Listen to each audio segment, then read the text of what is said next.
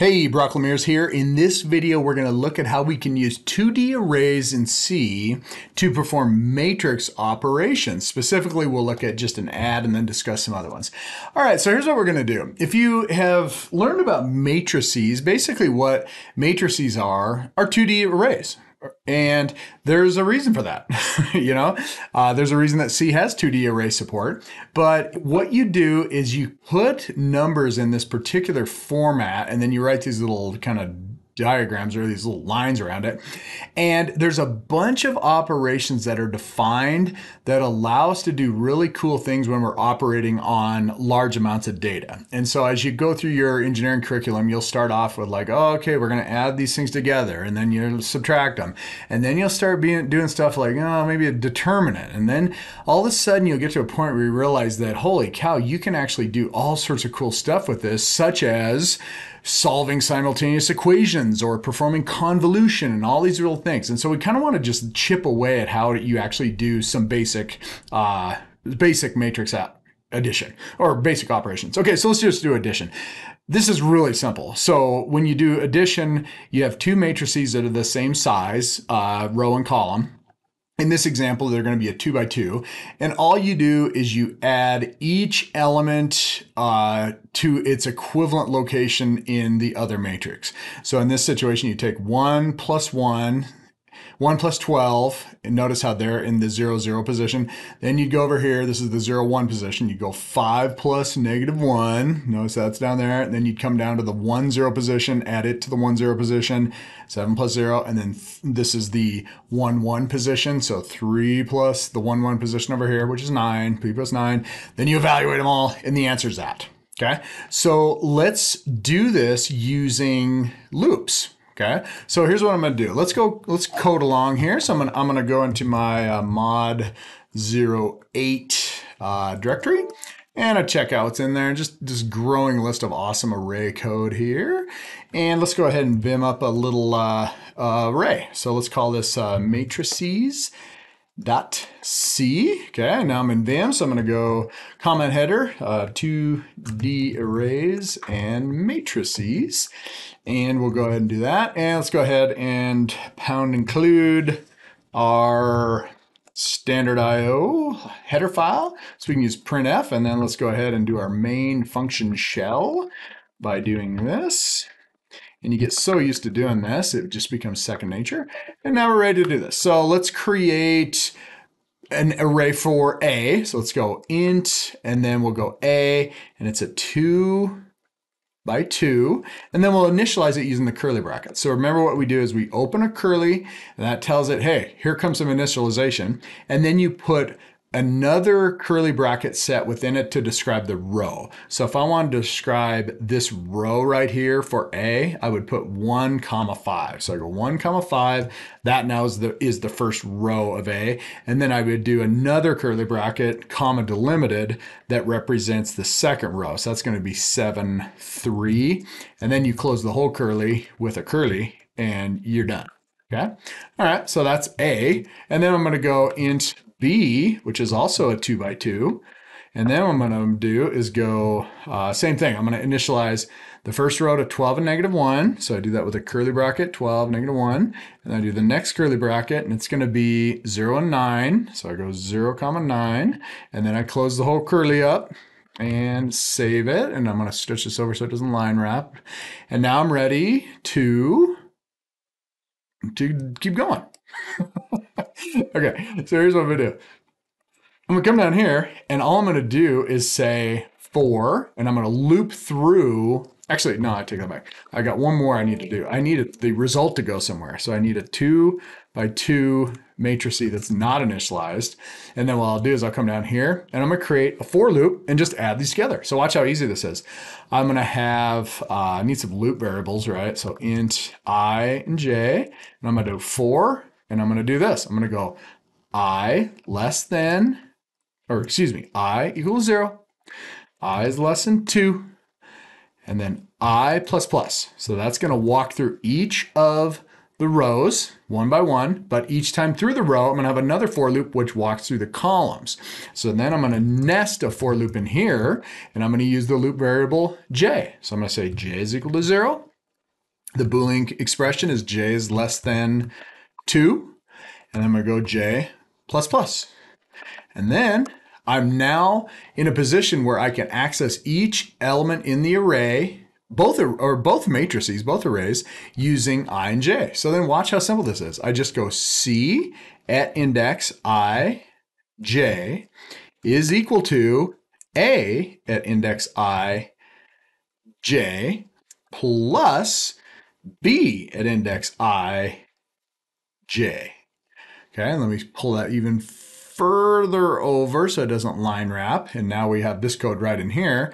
And so we don't even really need to see this code anymore. So now I'm sitting here and I'm like, wow, that's pretty cool. So close that curly, close that curly. And let's compile this and make sure it runs. And then we'll have to think about printing it. So let me change into mod 08. And I'm like, okay, uh, ls, what's in here?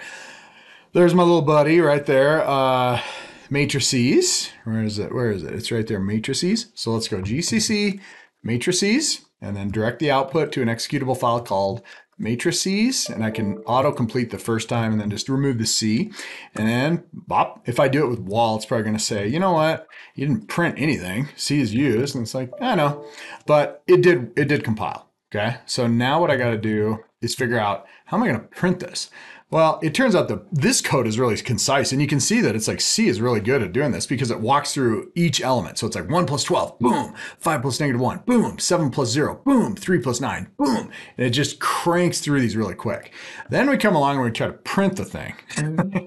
so let me try. I want to print it like this. I want it to look really pretty where I have like, here's the A matrices printed out like this. Here's the B matrices, and then here's the C matrices. And the result should be 13, 4, 7, 12. It shouldn't, it's, we know the, the answer to this. Uh, but the printing of this is actually going to take much more code than the actual calculation. But we're going to copy and paste. And so this will be print uh, inputs and output. La da da. Okay, so first thing we're going to do Okay, first thing we're gonna do, we're trying to make this look like this. So we're basically gonna have loops where we go print, print, print, print. So we're gonna go through the row and for each row we'll print something and then we'll tab over, we'll print the next element, we'll print column zero, column one, then we'll do the return. And it won't be horrible once we get it once. So let's do this. Print F, let's come down a little bit. And then we're going to do a for, and we already got a loop variable i. So i is equal to zero, i is less than uh, two, and then i plus plus, and then let's open a curly, and then let's do this. For j equals zero, j less than two, j plus plus, open a curly, and now we've got everything indexed. So now check this out. All I'm going to do is go, I'm basically at the row is good. So I'm at zero. This is the I. And I go I is equal to zero. And now what I want to do is print at the index. I want to print J is zero, J is one, but I don't want to return between them.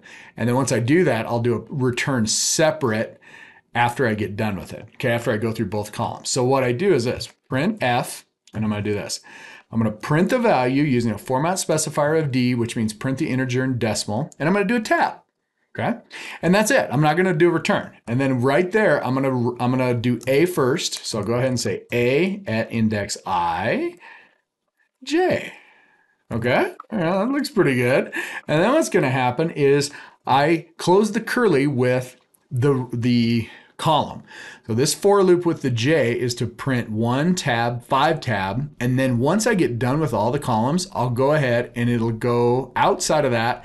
And before you allow the I for loop to, to print the next one, you're going to go ahead and slap a return in here. So all I do is this, watch, print F, and then I'm just going to put a line return. And then, you know, use the right syntax, but there it is. Okay. All right. So now, after I'm done with that, I close my curly and I got myself code. All right. Life is good. So let's go ahead and make sure that that works. So I go ahead and do that. And I got to run the thing, which apparently is not on my command history. So I'll run matrices. Oh, baby. Look at this 1573. So I did it.